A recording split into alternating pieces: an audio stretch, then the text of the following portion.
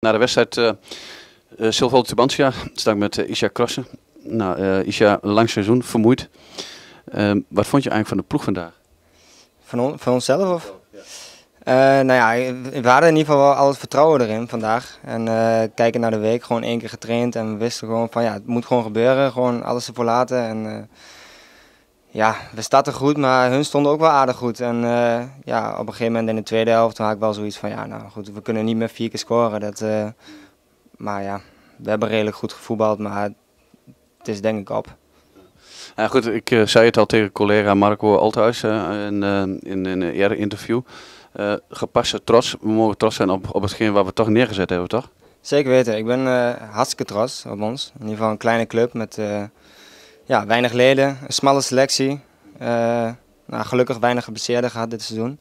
Maar als je kijkt hoe wij het met z'n allen hebben gedaan, maar niet alleen, niet alleen de spelers, maar gewoon iedereen, jullie noem alles maar op. Nou, ik ben er hartstikke trots op. Maar op dit moment is het natuurlijk wel de teleurstelling wat nog eventjes uh, ja, bovendrijft. Ja, die moet even verwerkt worden.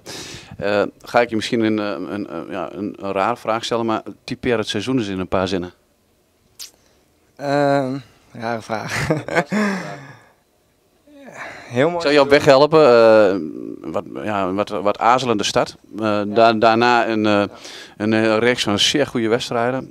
tot aan Linden. Na, na Linden zat de klad er een beetje in, vonden wij als redactie zelfs. daar hebben we ook nog wel een paar leuke wedstrijden gespeeld. Maar als ik het, dan mag jij het afmaken. Ja, er waren geen paar zinnen, Marco. Maar nee, helemaal waar. Ik denk dat na, de wedstrijd, na de winststop hebben we nog een aantal hele goede wedstrijden gespeeld. Echt heel goed. En nou, nou, ik zeg maar, de eerste vijf wedstrijden van het seizoen waren niet heel erg goed. En de laatste vijf, zes, zeven wedstrijden van het seizoen waren ook niet heel erg goed. En daartussen hebben we gewoon veel punten gepakt. Oké, en uh, als we nou uh, naar, het naar dit seizoen uh, afsluiten en kijken naar het volgende seizoen, dan komen er een paar nieuwe spelers bij. De, dus de selectie wordt wat breder. Ja, ja goed, de, de, ik denk dat, dat jullie als, als geheel, als ploeg, daar ook wel een beetje naar snakken volgens mij.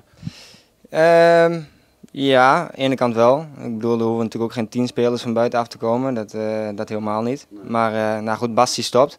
En dan krijgen we een verdediger van Pax van terug. En we krijgen een, uh, ja, een aanvaller, een middenvelder van, van Dingspelo. Dus wat dat betreft komt er eigenlijk eentje bij, zeg maar. Ja, er komen er wel twee bij, maar je snapt wat ik bedoel. Dus de selectie wordt er niet heel veel groter op. Maar ja, iedereen is is welkom. Ja. Okay. Nou, iedereen is gebrand om volgend seizoen weer uh, voor zoveel een goede prestatie neer te zetten. Maar dat is voor nu, voor nu even. Uh, we gaan een stukje vakantie vieren. Ja, daar ben ik heel erg blij mee.